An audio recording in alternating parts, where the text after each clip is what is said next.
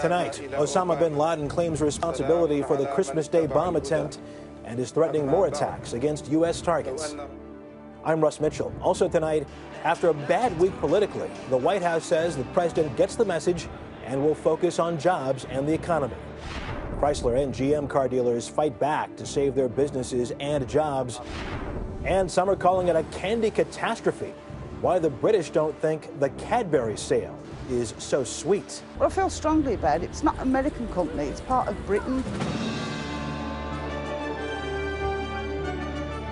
This is the CBS Evening News with Russ Mitchell. And good evening. We begin tonight with the latest words from Osama bin Laden. In a tape released today, the Al Qaeda leader claims responsibility for the Christmas Day terror attack, and experts say the tape promises more.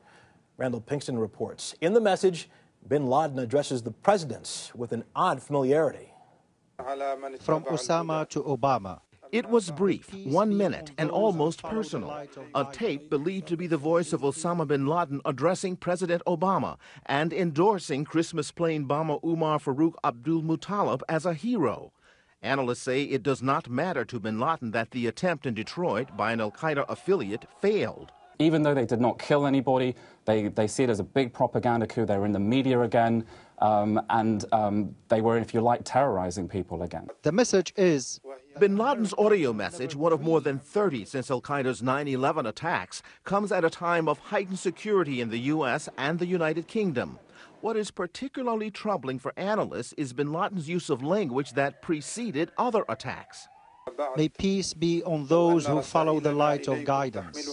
This phrase, which appears at the beginning and the end of the message, only appears in bin Laden's statements, typically in messages that come in advance of an attack. Uh, now, this could be in the coming weeks, or it could be as far out as 12 or 14 months from now. Bin Laden issued that same threat warning in the months before the London train bombing in 2005 and the Danish embassy attack in Islamabad in 2008. America will never dream of living in peace unless we live it in Palestine. In his latest message, bin Laden focused on a familiar theme the Israeli Palestinian conflict, with no reference to America's main military engagements. This is a message for the American people. This is a, a message that unless you change your foreign policy, we're going to continue attacking you. No matter what bin Laden says, his messages always serve as a recruiting tool for radicals. As far as endorsing the Detroit attack, a State Department spokesman says it's bin Laden's effort to stay relevant from wherever he's hiding. Russ? Randall Pinkston, thank you very much. After a brutal week for the White House, the Obama administration is vowing to start turning things around with voters this week. This following that stunning Democratic Senate defeat in Massachusetts last Tuesday and the results of a new poll that shows 63% of Americans think the country is seriously off track. Senior White House correspondent Bill Plante has more.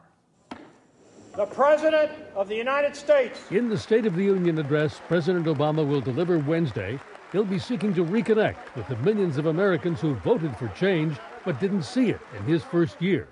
He's on the cover of two news magazines this week, one asking the question, Now what? The loss of a Democratic Senate seat in Massachusetts set off the alarm. A Washington Post poll shows almost two thirds of those who voted for Republican Scott Brown said they opposed the Democrats' agenda. The president's advisor said today he got the message and that his State of the Union speech will focus on jobs and the economy. I think the president will go through a series of things. Uh, how do we continue to work to get our economy back on track? Uh, how do we put uh, uh Main Street in uh, in better shape. The long debate in Washington about health care may have been a turnoff for voters. If you look at the polls out of Massachusetts, people reacted as much to the process uh, as anything else. Were there things we could have done there? Perhaps. We have to think that through. One part of thinking it through may be the decision to ask political advisor David Plouffe, one of the architects of Mr. Obama's 2008 victory, to oversee Democrats' campaign strategy for the November midterm elections. In today's Washington Post, Plouffe writes If Democrats do what the American people sent them to Washington to do, November will be nothing like the nightmare the talking heads have forecast. But advisors were quick to insist today that rumors of a major White House staff shakeup are overblown. Washington loves the when are we going to throw a body out uh, story. That's not how we roll. In his State of the Union speech, the president will try to recapture the narrative. He'll talk about a new foundation for the country rescue, restore, and rebuild. And he'll say that health care reform isn't dead. Russ? Well, Bill, based on your experience, do you get the sense that there is a panic at the White House? I wouldn't call it panic, Russ, but there's a distinct shift in tone. On Wednesday, you could feel it here. Instead of joking around, the press secretary was dead serious. And you could hear it all week in the president's speech, particularly in the speech he made Friday in Ohio, where he said, I won't rest until I get jobs for everyone. Bill Plante at the White House, thank you very much. And now to Haiti. The Haitian born recording star Wyclef Jean arrived in Port au Prince today to help publicize the relief effort. He handed out cooked food for immediate consumption to survivors. I've cried for two days, right? And after I've cried, you see what I did. I didn't cry for myself. I told y'all, I cried for my people. And I said, quit moping, meaning it's time to get back to work. Wyclef Jean helped organize and appeared on last Friday's Hope for Haiti fundraising telethon. And Haiti was hit with another aftershock today. This one, a 5.5, was considered moderate. No damage has been reported as the estimated death toll from the 7.0 quake nearly two weeks ago, now at 200,000, continues to rise. Cries of faith and hope continue to be heard in Haiti. Bill Whitaker has more. You'd hardly blame Haitians for cursing their misfortune. But on this second Sunday, after the walls came tumbling down, they sang songs of praise in the rubble of the main cathedral. The wall of this church collapsed, so they prayed on the lawn having endured 12 days of death and deliverance. Haitians have cheered the miracles of people being pulled from the rubble 9, 10, 11 days after the earthquake. But what they could use now is a chorus of angels. We found one today, Madame Yolene Batroni. She lost four family members in the quake. Her house is unlivable, yet she gives. How many people do you have sleeping here? About between 80 and 100. Young, old, camped in her backyard. Yolene, her husband Patrick, and two children sleep outside too. Both have good jobs, well to do in this neighborhood, but far from wealthy. They're digging into their pockets to buy water and food for their invited guests. Has any of the aid that's coming through the airport come to you? No, they don't know our existence. So her family in the U.S. is seeking donations on Facebook. And Yolene? And I'm waiting for my paycheck waiting for her paycheck so she can do more. Rodney Joson said if it weren't for her, he and his family would be in the streets. Why do it? It's how she was raised, she says, and of course, the children. Kids are kids no matter what color they are and what country they're from. Look at them, they played. The deads are dead. We can't do nothing for them. We have to think of the lives, man. Haitians now are living on faith, hope, and charity and the kindness of some angels. Russ? Bill, we heard your story from Yolana, of course, who said she is still not getting the help that she feels should be coming her way. At this point, nearly two weeks after the quake, what seems to be the problem? Well, there has been a logjam. More aid coming into this airport than it can handle or the small roads around here. But we have seen signs that the, the logjam is breaking that the food is now beginning to get out into the city and into the countryside. Russ? That is good news. Bill Whitaker in Port au Prince, thank you very much. And coming up on tonight's CBS Evening News, never have so many candy bars meant so much to England. But next, thousands of jobs rest in the balance, a last chance to save some local auto dealers. Walmart said today it is cutting more than 11,000 workers at its Sam's Club stores. That is 10% of the division's workforce. Most are part-timers who demonstrate products. And America's auto dealers are fighting back against Chrysler and GM. Thousands who had their franchises revoked have until midnight tomorrow to request binding arbitration and a chance to stay in business. Noel Gallegos has more. I see ghosts. This should be a vibrant, active shop. When Jim Andura looks around at what used to be his Chrysler Jeep dealership, he gets angry. I made money every year in business, every month in business. After 22 years in the New York suburbs, Andura was given a month by Chrysler last year to shut down, one of 789 dealerships eliminated by the struggling automaker. 65 employees lost their jobs. A bad blow to this community, to my employees, to myself financially. 2,000 General Motors dealers have been notified they are being phased out this October. And we're still dumbfounded.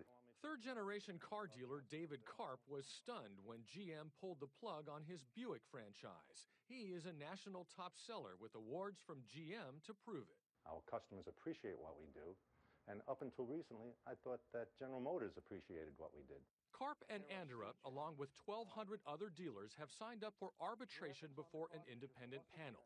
They will find out within six months whether they get to keep selling the cars they have always sold. They're really going to feel that they got a chance to be heard, and they got a chance to be heard in less than two and a half years in the court system.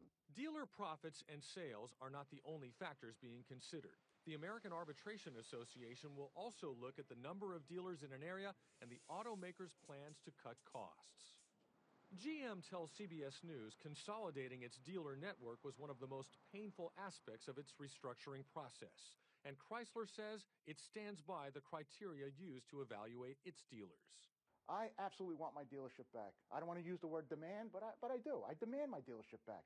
And there is one sign of hope coming from GM's CEO and chairman, who said recently that he expects hundreds of dealers to win back their franchises during the arbitration process.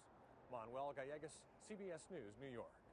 And next on tonight's CBS Evening News, it is not just Google that's been attacked in China, it's many U.S. businesses. Stay with us. On this Sunday, it was football heavyweights squaring off against each other. But in cyberspace, there's a heavyweight battle pitting China against Google, as well as, it turns out, many other American businesses. John Blackstone reports. At first, it seemed to be a cyber attack aimed at those who organized protests against China's control of Tibet. Actually, there's a saying in our community that if you're not being watched by the Chinese government, you're probably not doing the best you can. Still, Tenzin Seldon, a student at Stanford, was surprised when Google told her someone in China was reading her email. Hackers had to use some sort of high tech um, things that could that, that could they could have access to my um, password. But Google discovered this was much more than an attack on the email of a single Chinese human rights activist. Not only was Google itself targeted by the cyber spies, but so were at least 20 other major corporations. This is not a Google story. It's a story about industrial espionage coming from China, attacking American business and our economy. Peter Navarro, author of The Coming China War, says the companies believed to have been attacked include Dow Chemical and Northrop Grumman. When they hack American business enterprises, it's a covert act of war on our, on our economy at a time when their economy is growing at 10% and we have over 10% unemployment rate. At a place where they battle hackers every day, the computer security company McAfee, George Kurtz says the attacks were sophisticated and precisely targeted. Designed to get in, co- cover its tracks, steal data and corporate secrets, and get out. And for the companies involved, those secrets are valuable. Think about the amount of money they spend in R&D on a yearly basis, billions of dollars. Having these very sensitive uh, trade secrets and intellectual property and potentially source code taken uh, can be very damaging to them. One of the huge drivers of Chinese economic growth over the last several decades has been the forced technology transfer uh, from America to China. Well, there's no proof the Chinese government itself was involved in the attacks. Tenzin Sheldon says American companies hoping to profit in China should beware. It's not them that has owned China, it's China has owned them. As others now look to protect themselves from Chinese hackers, China itself strictly censors the internet behind what's been called the Great Firewall. John Blackstone, CBS News, Mountain View, California. Coast Guard crews today tried to contain an oil spill near Port Arthur, Texas. Much as 462,000 gallons of oil may have spilled in the collision between a tanker and another vessel. And still ahead on tonight's CBS Evening News, scrambling to prevent Haiti's earthquake orphans from abuse.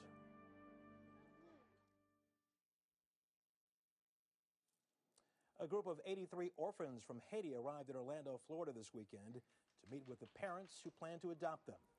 They came from an orphanage that CBS News went to last weekend, and concerns are growing about the well being of the orphans who remain in Haiti, as Seth Doan reports. At just eight years old, Wilson Bonneau is all alone. Both of his parents were killed in the earthquake. What goes through your mind when you think about them? I miss them a lot, he tells me. I used to cry all the time. Now the streets of Port-au-Prince are his home, a filthy fountain his bath, and this his bed. Can you show me how you sleep when you sleep at night? Early like estimates that? by the United Nations suggest, like Wilson, there could be up to 60,000 children who were killed, separated from their families, or orphaned by the earthquake. And aid organizations are scrambling to prevent these kids from being abused, exploited, or illegally adopted. We have heard reports of children being uh, taken out of the country, and UNICEF is very concerned about this. Children are the most vulnerable in any disaster. Kate Conradt is with the aid group Save the Children. They've called for a halt to new adoptions until it can be verified that these children are indeed orphans.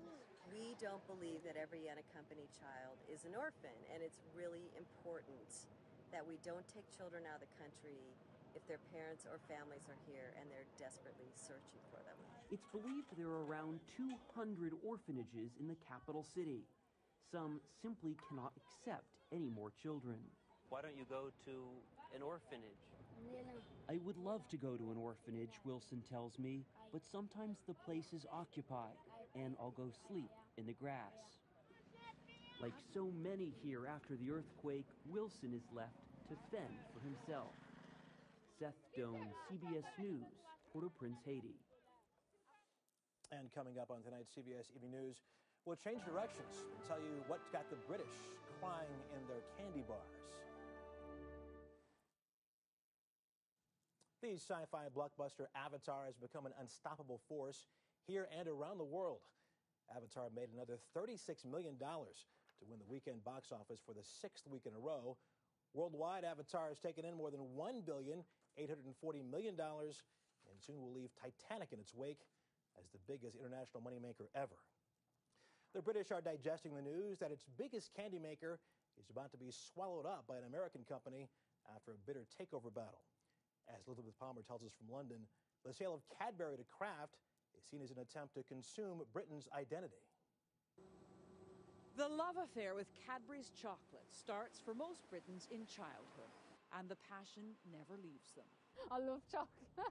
I eat Cadbury's chocolate every day. Everyone's got a favorite bar. Dairy milk? Fruit and nut, always spare. Cadbury's was established more than a century ago by two Quaker brothers. Two Victorian businessmen once had a strangely un-Victorian idea. The founders promised fair treatment for employees and even built their factory out in the country where workers could enjoy space and fresh air. When Kraft, the U.S. food conglomerate, moved to take over Cadbury, it thought it was just bidding on a chocolate company. Cadbury's Flake, the least expensive luxury imaginable. It hadn't factored in this kind of history and nostalgia, not to mention some prickly national pride. I would say, how would you feel if we came and took Hershey? The Kraft takeover has got people worried about job losses at Cadbury. But it also comes at a sensitive time for British industry as a whole. There have been a lot of takeovers of UK companies in the last few years, not just by Americans, but by Europeans, Indian companies, Chinese companies. And there's a lot of concern that we are, quote, losing too many of our companies. Some of the greatest British icons have been sold abroad Jaguar, Rolls Royce, Harrods, and the great Manchester United soccer team bought by the American billionaire Malcolm Glazer. Now Kraft is poised to become the latest foreign owner of a beloved British brand by coming up with enough cash to convince shareholders that sweet as Cadbury's past was, its future will be even richer when it makes Kraft the biggest candy maker in the world. Elizabeth Palmer, CBS News, London. And that is the CBS Evening News. Later tonight on CBS, 60 Minutes. Thanks for joining us this Sunday evening. I'm Russ Mitchell, CBS News in New York. Katie's here tomorrow. Good night.